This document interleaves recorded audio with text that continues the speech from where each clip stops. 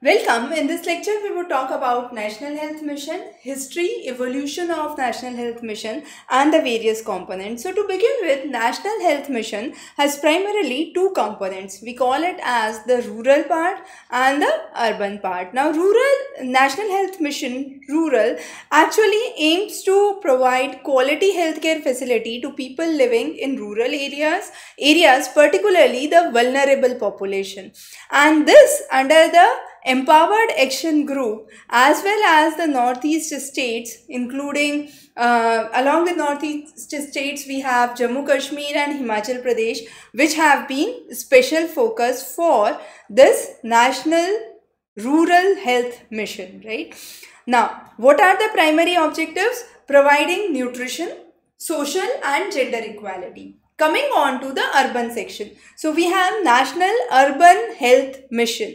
Now this mission aims to improve the health status of the people living in the urban area and provide them with a primary healthcare facility for every area with a population of more than 50,000, a urban primary health center would be established and this would continue under the National Rural Health Mission as well for the PHC. But the criteria for having the PHC would be different for a rural area as well as an urban area. Now, in this lecture, our focus would be to understand how it evolved, the history of it and the RMNCHA that is reproductive maternal newborn child health and adolescent program. So we would be focusing on each of these one by one as we proceed.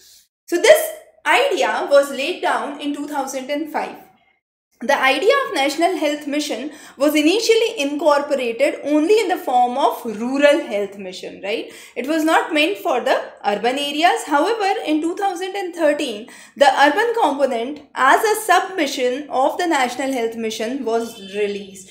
And the rural component, as I primarily mentioned, focused on the vulnerable sections of the society and the special focus group, which is the Northeast states, Jammu Kashmir and Himachal Pradesh. Now, Again, the reproductive, maternal, neonatal, child and adolescent health is one of the primary components. So, it was initially called as RMNCH plus A right? And later on a became part of it. So adolescent was part of it. Along with that it also focused on non-communicable diseases. It also focused on communicable diseases. The idea is to provide equitable healthcare facility affordable healthcare facility and also quality healthcare facility right so all these components have been important and health delivery systems have been enhanced for the same purpose now coming on to uh, each of the missions and their financing components. So be it the rural or the urban, there are six financing components. The first is the RCH Flexi Pool, for the urban, the flexi pool. For communicable, for non-communicable. Uh, this is specifically for rural. So you can say one for rural, one for urban, one for communicable, one for non-communicable. Uh, then you have for infrastructure and family welfare. So there are six different components under which the financing of the National Health Mission would take place. The next we need to understand is the objectives that were laid down under the health mission. So the outcomes of the National Health Mission were laid down in the 12th plan and these were synonymous to the 11th plan but were part of the overall global vision.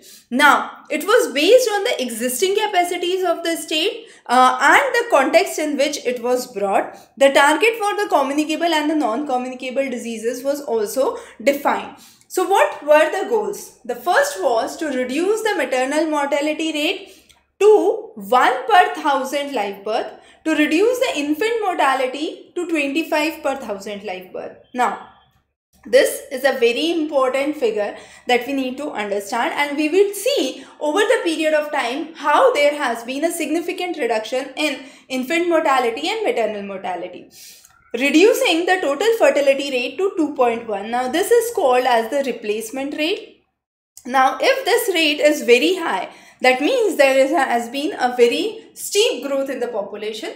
So the idea to reduce the total fertility rate is to bring uh, a relatively um, stabilization we could say for the population growth right uh, reduction of anemia in women in the age group of 15 to 49 years, reducing the morbidity and the uh, mortality because of non-communicable or communicable diseases or any emerging disease that could be seen. Healthcare is one of the major segments where a lot of money is spent. So how much out of pocket is spent by an individual? Out of pocket means the expenditure which is not covered by the insurance and the person has to pay it upfront. So that expense should be reduced significantly because that should not become a burden for any um, any uh, family, right? The next is reduction of the deaths and mortality by tuberculosis by half. So let's say if it was 100, it has to be brought down to 50. Similarly, the prevalence of leprosy should be reduced to less than 1 per 10,000 cases. So, a very high target to be uh, identified for leprosy and the incidence of 0 for all districts is the objective. Annual malaria incidence to be less than 1 per 1000 less than 1 for micro, microfilariasis in all the districts and Kala Azar to be eliminated by 2015 less than per uh, less than 1 per 10,000 case, cases. Now, leprosy and Kala Azar, the reduction for these two have been significantly important, right? Now, if we look onto the growth rates and the changes from 1951 till 2013, the latest data available as per the um, the census we have identified, right? So the crude, crude birth rate reduced drastically from 40.8 to 21, which is significantly good, indicating that our population is now towards a stabilization phase. Crude death rate reducing from 25.1 to 7, nearly threefold reduction indicates a very good health infrastructure and health facilities development. Total fertility rate per person per women was 6 which has been reduced to 2.3 and we target it for 2.1 which is a significantly good figure because with 2. with 6.0 we have seen a boom in our population explosion right. Maternal mortality was very high somewhere around 437 which has been reduced to 1 67 as per the samples registrar survey reports which is a significantly good figure and the maternal mortality is per lakh of population. Infant mortality to be reduced from 146 to 40 and further as we have seen the goal targets to 25. So it has already gone till 40 and we need to reduce it further. The life expectancy was 55 years which has been increased to 67 years which is again a good figure. And as we have seen with the reduction in the crude death rate definitely the life expectancies ought to increase. So if there is a reduction in the death rate that means the longevity of the life is getting better.